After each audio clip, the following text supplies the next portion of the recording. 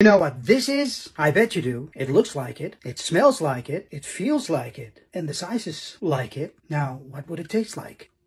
It's crispy on the outside, so it must be a croquette, a Dutch croquette. A typical Dutch croquette is made out of meat ragout or salpicon, covered in breadcrumbs and deep fried until golden brown and crispy. Here we go.